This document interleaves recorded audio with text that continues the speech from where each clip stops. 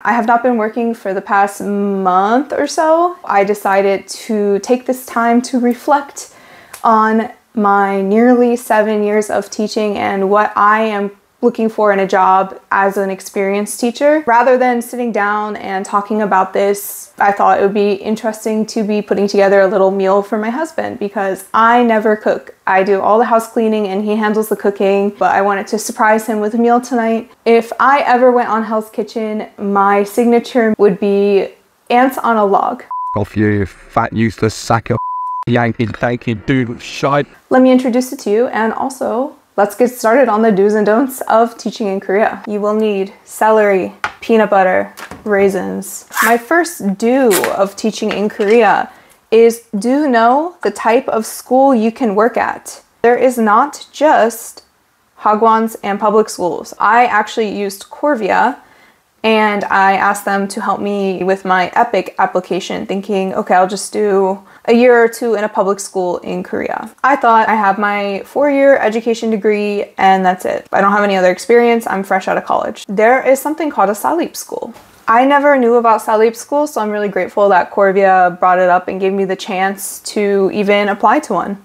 But basically, it is a tuition based school. I've worked in two of them. I found those jobs to probably be the height of my teaching career in Korea. You have more responsibility. Like my second Salip school, I actually had my own homeroom class. Of course, there was a curriculum, but I could also make fun games and activities. I didn't ever feel, in my two schools at least, that I was being micromanaged. It just felt like I was putting my education degree to good use. The other benefit is just the vacation. I had about a month in the summer and a month in the winter. For something like a Salip school, they're looking for education degrees. So not everyone is going to be qualified, but if you happen to hold a education degree, don't be afraid to ask recruiters and see how it goes. Not many people I think know that they're an option. My golden raisins are from Trader Joe's. I was actually in America in March visiting my family. I just brought home like half of my luggage was Trader Joe's because I have an unhealthy obsession. Anyway, so my second do when you find a job that you're interested in, do check the blacklist site, which I will link below. Mm. So, yeah, check the blacklist. When you receive the name of a school, when you apply directly or whether it be recruiter, doesn't matter. You go on the blacklist site, do the find key option shortcut, Try to type in the school name. If it pops up, run. Why are you running? Why are you running? So my third do, once you've found a school, you've applied for it, and the school's like, all right, we're gonna send over the contract. Say, can I please have the contact of a teacher who currently works at your school? If they refuse that, just walk away. Do not feel anxious about asking for that teacher's contact. They will ask the teacher for permission, don't worry about it. Well, they should.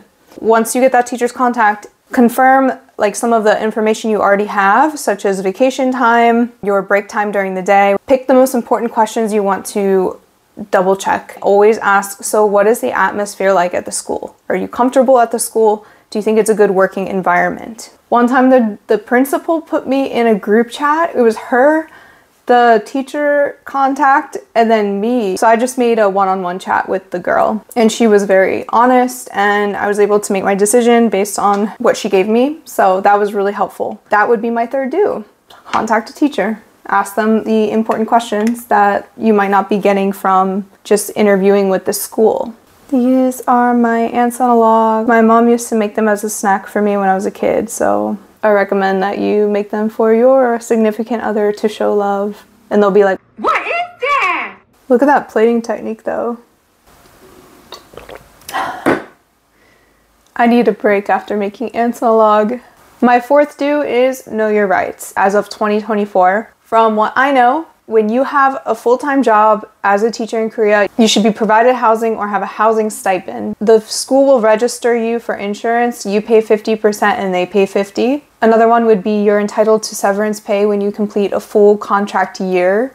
So that severance pay should be equal to one month salary. Depending on where you're from, you should be paying into a pension plan. If there are more than five employees at the school, the school must legally give you 11 paid vacation days. It used to be 10 vacation days, but as of like last year, it became 11. So a lot of contracts still say 10. Make sure that um, you ask about that if you see that. If your work schedule is up to eight hours in a day, then you are entitled to 30 minutes of break time consecutively. What I've heard from some teachers' experiences is they don't really get the break time because their school expects them to supervise kids eating lunch with kids in the classroom. Again, that is not a break time. Don't quote me on this, but I've heard teachers say like you're supposed to be able to leave the campus. I've personally never had that experience at a school where I could go out or I felt like I could go out. But if you're at a school where things are prepped, you have a curriculum, you have books, you really have nothing to do during that break, you should technically be allowed to leave and come back in time for your class.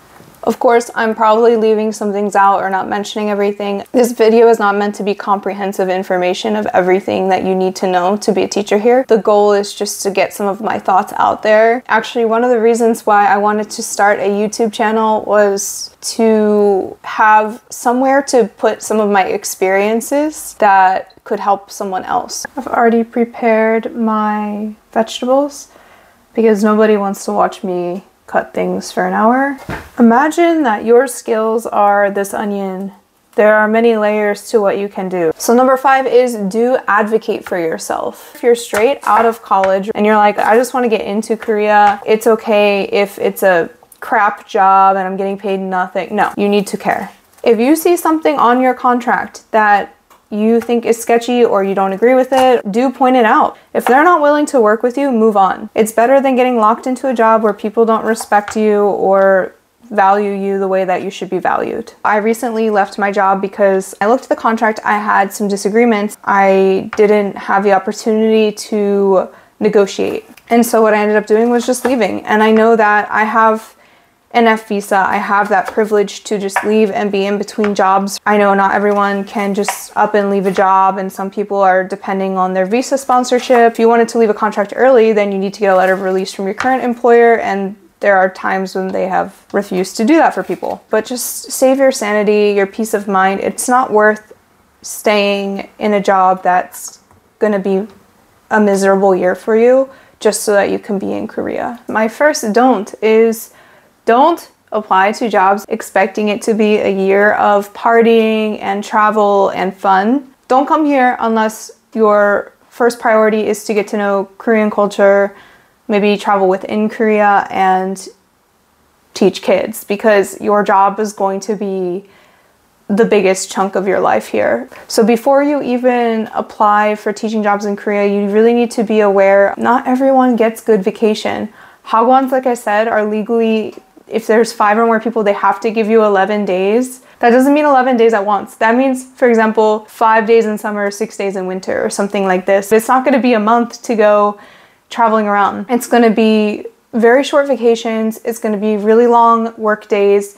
It's going to be working with kids, creating lessons, dealing with parents. It's not easy. Teaching English is probably seen as not a very difficult job, but depending on where you go, how your director or principal is, how the kids are, what is expected, it's it can be very challenging. You can get some hagwon jobs that are so chill and don't take a lot out of you, but if you are unlucky and you just land a job that is mentally draining or takes a lot of energy during the day, you don't really get to enjoy your break time or even your vacation. Like it comes up on you and you're just like I didn't even plan for anything. I'm exhausted. Make sure first and foremost you're actually interested in living in another country, learning that country's ways, and working with children.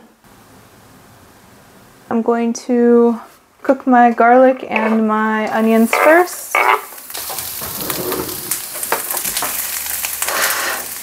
For my second don't, do not pay any recruiters. It is a free service for you. If you choose to go with a recruiter, you should not be paying them anything. I had a really good experience with Korvia. I didn't feel pressured. I felt like the recruiters were all really nice and looking out for my best interests and also considering my degree and experience in order to land me really good jobs. There will be recruiters out there though who are not looking out for your best interests. They will be working for notorious hagwons that are not great. And they will push you. They will demand you to make decisions that you might not be ready to make and you might have more questions that they're not willing to answer because they just want to get their pay. Do not feel pressured. You do not need to take any of their jobs. I've heard of recruiters harassing teachers in a way, as in like calling them and arguing with them, making them very uncomfortable. Don't let them bully you. You don't owe them anything. At the end of the day, you need to make a decision that's right for you. This looks so healthy. I need to get my sugar sauce ready. Five tablespoons of soy sauce. Then four tablespoons of oyster sauce, but I don't have that, so I'm gonna use some maybe Thai fish sauce. Oh god. Okay, sugar. Rice wine vinegar is the last thing. Mix and hope for the best. My third don't is do not take a job that is offering you 2.1 or 2.2. 2.1, 2.2 has been the standard since before I came to Korea. It is not okay in this economy. If you live in Seoul, they're gonna try to pitch you jobs that are, just have a lower salary because it's in such high demand. You're gonna have to fight a little bit. Uh, do not accept 2.1, 2.2 in Seoul. Even if you're given housing, that's no. So I did a little survey in one of the expat groups that I'm in on Facebook. A lot of the teachers gave me some really good feedback. The general consensus, regardless of where you get placed in Korea, let's just generalize because I know every city is different and Seoul is going to be more expensive versus like living in Jeonju, for example. But general consensus is if you're a brand new teacher, accepting 2.3 is it's okay, but if you can get 2.4, 2.5, that would be really like that would be ideal in 2024. And if you are a teacher who is experienced, you really should not be taking anything lower than like 2.8 ideally. And that remember this is base salary. This is not combined with housing or housing stipend. And another thing is uh, housing stipend should not be 300 and 400,000 won anymore. I think regardless of where you are, you should be getting at least 600. And also, if you need to get a place with a massive key money deposit, then that is also something you need to consider. I don't know how many jobs actually provide help with that. I know there are some out there. These days, getting a decent place, as in like a relatively clean place without mold or some sort of infestation of God knows what, having sunlight, these little things make the price go up, right? If you saw my housing video, we put down a massive deposit for this place because we wanted to avoid all that. Just be prepared to have to put down, I would say 10 to 15 million won for a decent place these days, even a one room. I'm not even joking. It is very expensive. This is where we're at now with the stir fry. My husband should be coming home at any time.